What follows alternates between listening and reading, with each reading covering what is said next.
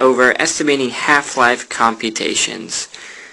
Uh, so first we'll kind of go over the general equation for half-life and then we'll kind of get into actually estimating it. And so we have a problem here. We have the half-life of carbon is 5,730 years.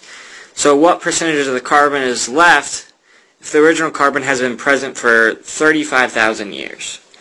So our general general equation for this is let's just use the variable a. So a is equal to a uh, a naught uh, multiplied by one half to the t over h. And so let's go ahead and define these variables.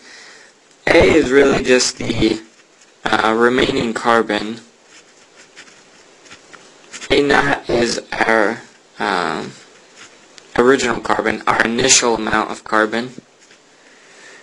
And then T is the uh, time that has passed. And we know H, uh, H will be our half-life. Okay, um, another way to think about this is to uh, determine how many half-lives have come through. So let's say if we have A is equal to A naught and B multiplied by 1 half to, let's use the variable X.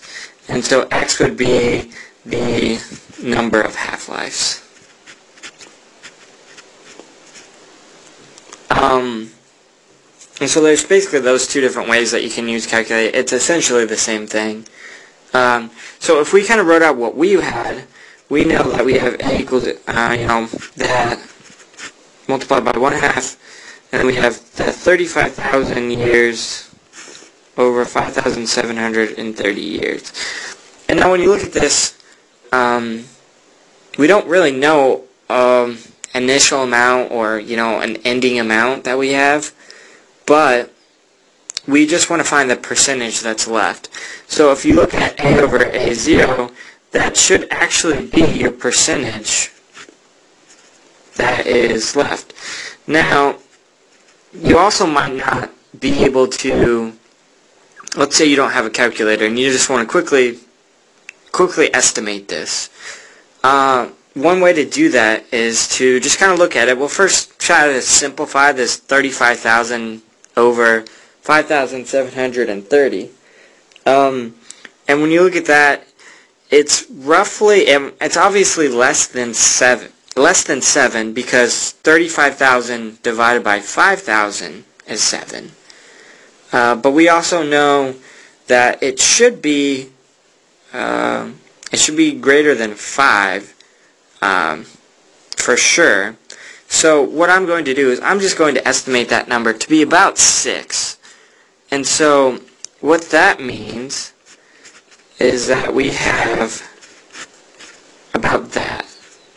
And that's an estimation, of course.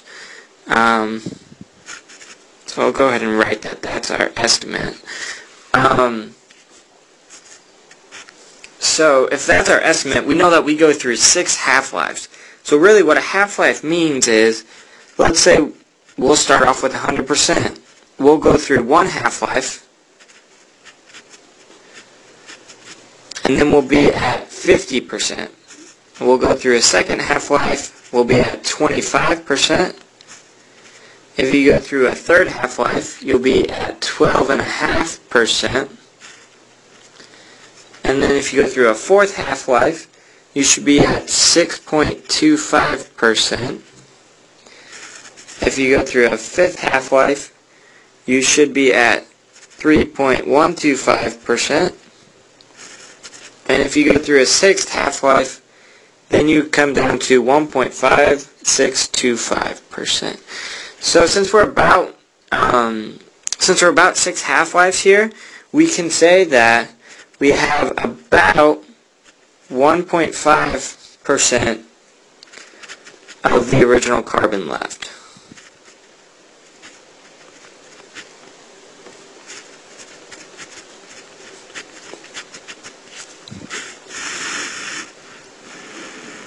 And so that kind of gives you a rough estimate.